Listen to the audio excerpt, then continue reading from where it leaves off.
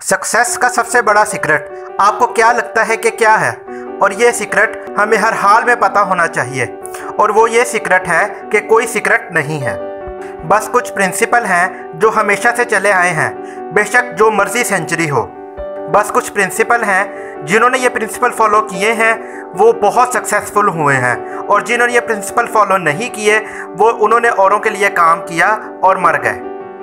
एक क्वालिटी जो हम आज डिस्कस करने वाले हैं। अगर हमने इसको फॉलो नहीं किया तो फेलियर गारंटी है।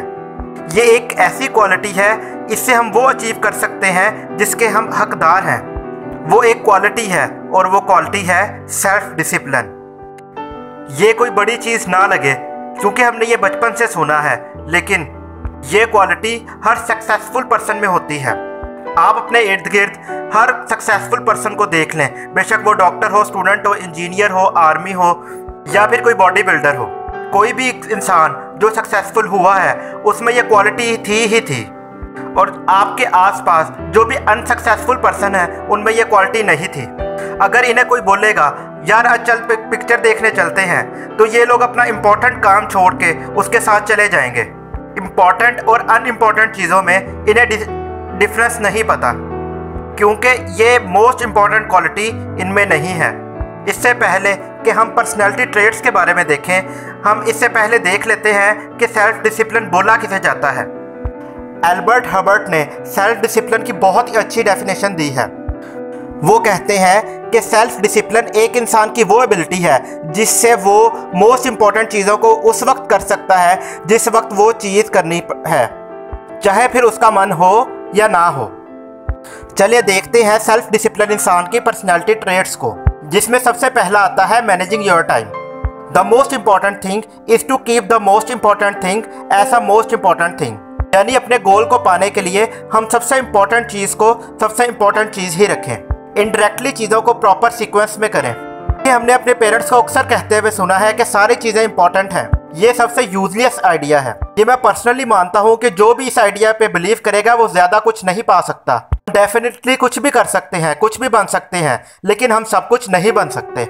इसी कोर प्रिंसिपल से सेल्फ डिसिप्लिन लोग अपना टाइम मैनेज करते हैं। अब कुछ अब कुछ लोग बोलेंगे कि ये प्रिंसिपल तो सुनने में बहुत इंटरेस्टिंग है, लेकिन इसे प्रैक्टिकली कैसे करें? इसके लिए ब्रायन ट्रेसी अपनी बुक में बोलते हैं कि सेल्फ डिसिप्लिन इंसान मोस्ट इंपॉर्टेंट चीज़ों पे फोकस करता है। और वो A B C D E method को यूज़ करता है।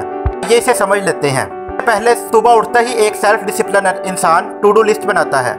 जो भी उनके दिमाग में है, उसे पेपर पर उतार देता है, ताकि उसका ब्रेन अनफिनिश्ड कामों के लिए उसे डिस्टर्ब ना करे। और वो हर काम के आगे ए बी सी डी या ई में से कोई भी लफ्ज़ लिख लेता है। ये उन कामों के आगे लिखा जाता है, जो चीज़ उसे उस गोल तक पहुँचने में मदद देती हैं। उन कामों के आगे लिखा जाता है, जो मोस्ट इंपॉर्टेंट नहीं होती। सी, उन कामों के आगे लिखा जाता है, अगर उन्हें ना भी करे तो कोई फ़र्क नहीं पड़ता। डी, उन कामों के आगे लिखा जाता है जिसे हम डेलीगेट करना चाहते हैं। डी, दूसरों की मदद से कंप्लीट किया जा सकता है। ई ई का मतलब है इलिमिनेट इलिमिनेटर का मतलब है कि ऐसे काम जो हमारे लिए उस वक्त बिल्कुल भी इम्पोर्टेंट नहीं है।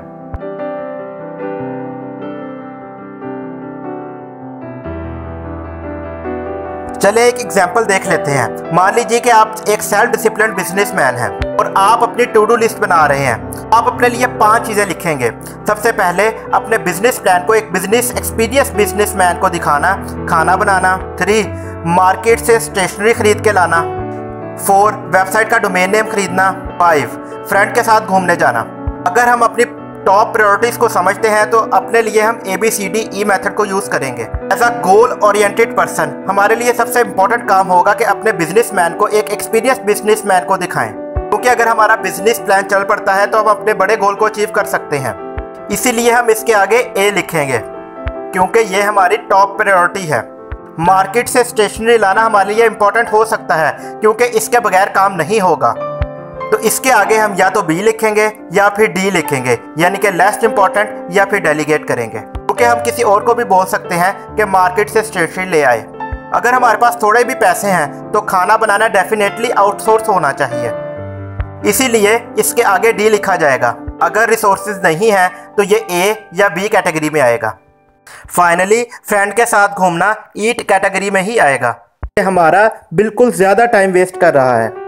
अगर हम हफ्तों से काम कर रहे हैं या हम ओल्ड एज हो चुके हैं तो हमारा फ्रेंड के साथ घूमना टॉप प्रायोरिटी भी बन सकता है। कि सोशल होना हमारी टेंशन को बहुत ज़्यादा रिलीज़ करता है। और एक नॉन डिसिप्लिन इंसान ऐसी कोई लिस्ट बनाता ही नहीं है। वो सोचता है कि सारी चीज़ें मैं अपने ब्रेन में ही रखूँगा। पहले सोचता कि मार्केट से जाके कोई स्टेशनरी ले आता हूँ। फिर अगर दरमियान में कोई फ्रेंड कॉल कर देता है तो वो सोचता है कि फ्रेंड के साथ जाके ही स्टेशनरी ले आता हूँ। और शायद पूरा दिन ही वेस्ट कर देता है। इसलिए काम को, ये काम को सीक्वेंस करना और सीक्वेंस के साथ ही एग्जीक्यूट करना एक सेल्फ डिसिप्लिन इंसान की ज़िम्मेदारी है।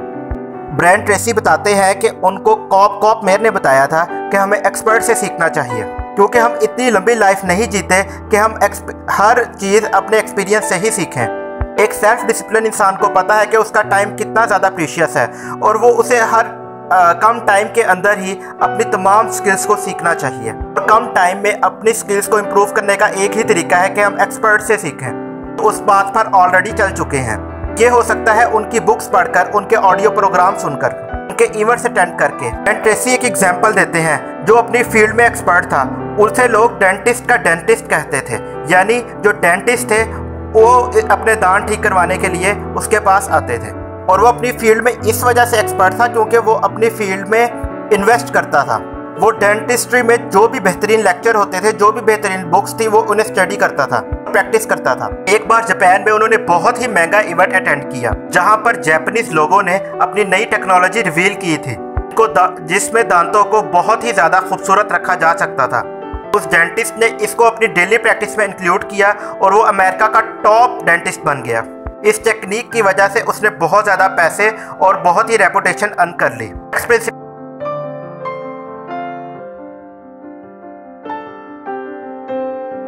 हमारी पर्सनैलिटी भी एक लिक्विड की तरह शुरू होती है सॉफ्ट और बिना किसी फॉर्म के। लेकिन जब हम इसमें पर्सनैलिटी डिसिप्लिन शामिल कर लेते हैं तो ये एक क्रिस्टल की तरह बहुत हार्ड हो जाती है। लेकिन जो लोग डिसिप्लिन नहीं होते, वो ऐसे काम करना चाहते हैं जो आसान है, जिसमें इंस्टेंट खुशी मिल जाए। इसीलिए उनके ख्वाब कभी क्रिस्टलाइज नहीं होते, कभी रियल नहीं होते।